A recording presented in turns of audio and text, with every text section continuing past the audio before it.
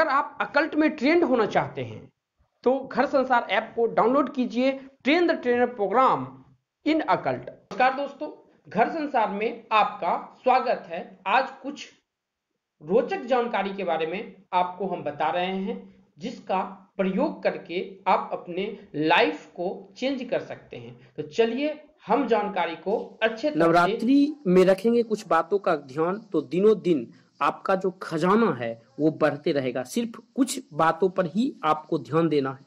जैसे है कि ब्रह्म मुहूर्त में उठ जाना चाहिए। सूर्योदय के बाद सोना कभी भी नहीं चाहिए।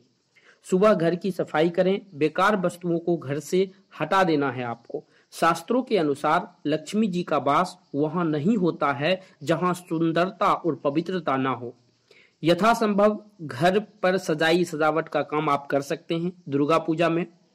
अब देखिए, सबसे पहले है कि रूप और सौंदर्य की प्राप्ति के लिए शरीर पर जैसे कि उल्टन लगाकर आप स्नान कर सकते हैं, जैसे किसी का अगर शुक्र नीच का होगा या शुक्र कमज़ोर होगा, उस स्थिति में आप दही से स्नान कर सकते हैं, बहुत ही अच्छा होता है।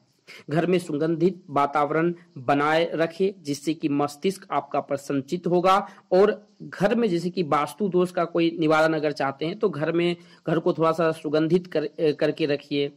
धूप, दीप डेली जलाइए, जैसे कि माँ दुर्गा की अगर आराधना करते हैं। तो मैंने पिछले वीडियो में दीप के बारे में आप लोगों को बताया था कि दीप कैसे हमको जलाना है, इसके बारे में अच्छे तरह से समझाने का कोशिश किया था। तो आप वो अगर वीडियो नहीं देखे तो पिछले वीडियो में जाके आप उसे देख सकते हैं। अब है कि आपको घर में क्रोध नहीं करना है ब्रह्मचल का पालन करना है, ये बहुत ही ज़रूरी है। जीवन साथी जो भी आपके हैं, उसमें तू तू, मैं मैं या झंझट नहीं करेंगे। देखिए, घर में जो लक्ष्मी होती है, वो साक्षात लग जो स्त्री होती है, वो साक्षात लक्ष्मी होती है। अगर उसको समय समय पर आप गाली देते हैं, कुछ नौजवान बात बोलते हैं तो इससे क्या होता है कि लक्ष्मी रूठने लगती है।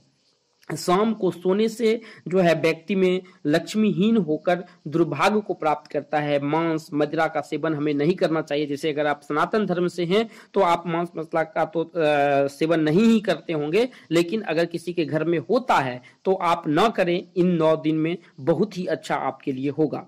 देवी माँ के मंदिर में सिर झुकाने से पहले अपने माता पिता और वृद्ध जनों से आशीर्वाद प्राप्त कर सकते हैं। आप भूल से भी उनके मान सम्मान को हानि ना पहुंचाएँ। ये कुछ बातें हैं जो कि नवरात्रा में आपको ध्यान रखना है। देखिए पुराणों के अनुसार नौ दिन जो है, बहुत ही सावधानी रखने वाली बात होती है।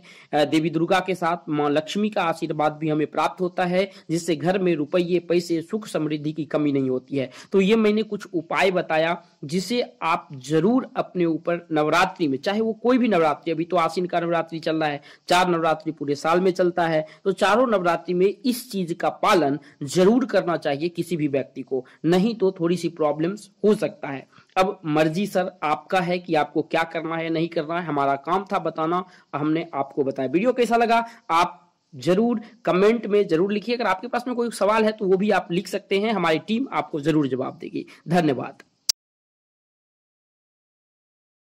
आप कर्म करके थक चुके हैं। या बुरी से बुरी समस्या में फंसे हुए हैं। ज़िंदगी की हर समस्या के समाधान के लिए हमारे पंडित जी आपके साथ हैं। अगर आपको अपनी कुंडली हैंड एनालिसिस या वास्तु की कोई भी समस्या है तो आप कॉल कर सकते हैं। आपसे ली गई राशि हम गरीबों की मदद के लिए आपके सामने लगाते हैं, जो कि चैनल में आपको मिल जाएगा। धन्यवाद।